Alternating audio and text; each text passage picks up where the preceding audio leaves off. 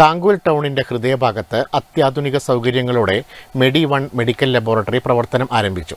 T I Madhusoodanan M L A ഉദ്ഘാടനം ചെയ്തു.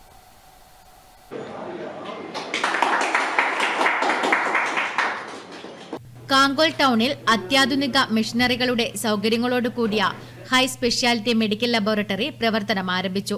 കാങ്കോൽ ടൗണിൽ ശ്യാമ കോംപ്ലക്സിൽ മെഡിവൺ മെഡിക്കൽ ലബോറട്ടറിയുടെ ഉദ്ഘാടനം T I Madhusoodanan M L A നിർവഹിച്ചു. കാങ്കോൽ ആലപ്പടമ്പ ഗ്രാമപഞ്ചായത്ത് പ്രസിഡന്റ് എം വി സുനിൽകുമാർ ചടങ്ങിൽ അധ്യക്ഷത വഹിച്ചു. എല്ലാവിധ ബ്ലഡ് യൂറിൻ ടെസ്റ്റുകളും thyroid H B A one C തുടങ്ങിയ സ്പെഷ്യൽ ടെസ്റ്റുകളും ചുരുങ്ങിയ സമയത്തിനുള്ളിലും കുറഞ്ഞ ചിലവിലും ചെയ്തു കൊടുക്കുന്നു.